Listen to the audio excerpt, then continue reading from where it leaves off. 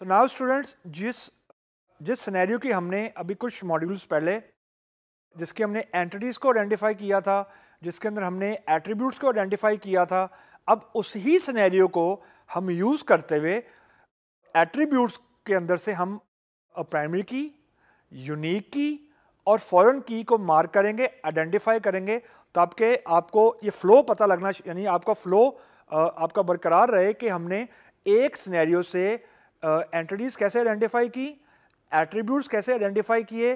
फिर उन एट्रीब्यूट्स के फर्दर मेटा हमने कैसे आइडेंटिफाई किए? यानी प्राइमरी की फॉरेन की यूनिक की को हमने कैसे आइडेंटिफाई किया? ताकि you should learn the complete journey कि जब आपके पास रिक्वायरमेंट आती हैं तो आप स्टेप बाय स्टेप उसको कैसे कन्वर्ट करते हैं into database so let us explore this thing so now students ये एंटिटीज़ वही हैं मैंने एंटिटीज़ को बिल्कुल नहीं हाथ लगाया। यानी बिल्डिंग की एंटिटी है, अपार्टमेंट की एंटिटी है, कस्टमर की एंटिटी है, फ्लोर की है रिसीप्ट की है, ये वही है। अब किया क्या है मैंने कि फॉर एग्जांपल बिल्डिंग का नेम है कोई एड्रेस है फ़ोन नंबर है, मैंने जानबूझ के यहाँ पे एन टी एन ऐड कर दिया है, जिसको हम लोग नेशनल टैक्स नंबर भी बोलते हैं फॉर एग्जांपल अब जो तो मेरा एट्रीब्यूट और प्राइमरी की है, अमूमन बिल्डिंग का जो नेम होता है वो यूनिक होता है, वो रिपीट नहीं होता और वो होता है। यानी ऐसा नहीं हो सकता कि मैं बिल्डिंग का एड्रेस ऐड कर दूँ फ़ोन नंबर ऐड कर दूँ और बिल्डिंग का नाम ना ऐड करूँ। तो मैंने यहाँ पे जो बी नेम है, उसको प्राइमरी की मार्क कर दिया। अब जिस एट्रीब्यूट को हम प्राइमरी की मार्क करते हैं, उसको हम लोग अंडरलाइन कर देते हैं। दिस इज़ अ नोटेशन एक तरीका है। और जिस कॉलम को मैंने यूनिक की मार्क करना है, उसके साथ मैंने यूनिक की लिख दिया जस्ट फॉर आवर अंडरस्टैंडिंग ये अमूमन लिखते नहीं है, लेकिन डिस्कशन के लिए मैंने लिखा है कि नेशनल टैक्स नंबर अगर किसी बिल्डिंग का है, अगर वो कमर्शियल है, उसका अगर टैक्स नंबर है, अगर होगा तो वो यूनिक होगा। और ऐसा भी हो सकता है कि एक बिल्डिंग है, वो कमर्शियल पर्पज के लिए यूज़ नहीं हो रही तो उसका टैक्स नंबर नहीं होगा। तो उस केस में एन में वैल्यू नहीं होगी। लेकिन क्योंकि ये यूनिक की है, इसमें नल वैल्यू आ सकती है। मूविंग फॉरवर्ड जो अपार्टमेंट का टेबल है उसके अंदर मैंने अपार्टमेंट आईडी को मैंने प्राइमरी की रख दिया। उसके बाद बाकी कॉलम को मैंने कुछ नहीं किया।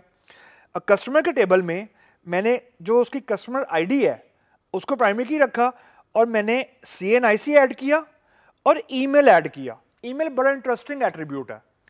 ईमेल आजकल के ज़माने में तो तकरीबन सबका ही होता है, लेकिन बहुत सारे ऐसे यूज़र भी होते हैं जिनका ईमेल एड्रेस नहीं होता।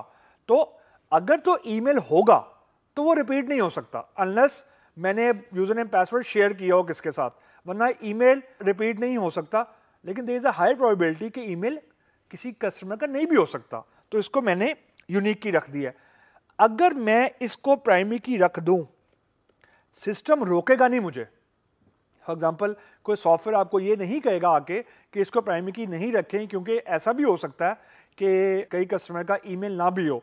सॉफ्टवेयर नहीं कहेगा आपको, लेकिन लॉजिकली इट इज़ रॉन्ग जब फॉर एग्जांपल अपने कस्टमर का डाटा ऐड करना है, आपने ईमेल को प्राइमरी की रख दी है, और अगर आपने ईमेल में कोई वैल्यू एंटर नहीं की, वो आपको रो ही नहीं एंटर करने देगा डाटा ऐड ही नहीं करने देगा। तो उस वक्त आपका जो डिसीज़न है to make this as a primary key वो गलत है। जब हम ये कहते हैं कि हम डिज़ाइन लेवल के डिसीजंस कर रहे हैं तो उससे मुराद ये वाले डिसीजंस होते हैं। उसके बाद फ्लोर है। फ्लोर नंबर को मैंने प्राइमरी की रख दिया, और नंबर ऑफ़ अपार्टमेंट्स रिसीव का टेबल बहुत इंटरेस्टिंग है। क्योंकि इसके अंदर हमारे पास फ़ॉरन की आ रही है, आसान लफ्ज़ों में। रिसीव की अपनी आईडी है रिसीव आईडी अब रिसीव के अंदर हमारे पास दो चीज़ों का होना ज़रूरी है। एक अपार्टमेंट यानी जिस अपार्टमेंट के अगेंस्ट रिसीप्ट है, और जो जो कस्टमर है, यानी किस कस्टमर ने किस अपार्टमेंट का रेंट पे करना है। तो इस केस में मैंने सीआईडी लिख दिया। सीआईडी को मैंने एफ़ के लिखा है। इट इज़ अ फॉरन की इससे मुराद ये है कि इस कॉलम में जो भी वैल्यू आएगी it will be referring here जो कि हमने थोड़ी देर पहले डिस्कस किया था। और जो अपार्टमेंट आईडी है, इसमें जो भी वैल्यू आएगी, वो इस कॉलम से मैच करनी चाहिए। दिस इज़ इट नाम जो एट्रीब्यूट है फॉरेन की का फॉर एग्जांपल यहाँ पे नाम डिफर कर सकता है। मैंने यहाँ पे एआईडी लिख दी है। आप अपार्टमेंट आईडी भी लिख सकते हैं। नाम से फ़र्क नहीं पड़ता, लेकिन जो वैल्यू आनी है वो पेरेंट टेबल से अगर मैच नहीं होगी तो फॉर एग्ज़ाम्पल मैंने यहाँ पे टू ऐड कर दिया, और यहाँ पे अपार्टमेंट में वैल्यू वन है और थ्री है, वो यहीं पे रोक देगा एरर दे देगा। आपको ये टू वैल्यू एंटर ही नहीं करने देगा रिसीव के टेबल में, वो कहेगा पेरेंट रिकॉर्ड नॉट फाउंड आसान लफ्जों में, कि अगर एक वैल्यू की एग्जिस्टेंस यहाँ पे नहीं है तो चाइल्ड उसको यूज़ नहीं कर सकता। तो this is the key concept when we have to design databases कि आपने गलत डेटा को रोकना है। आजकल सारी गेम ही सोशल मीडिया पे डेटा की है।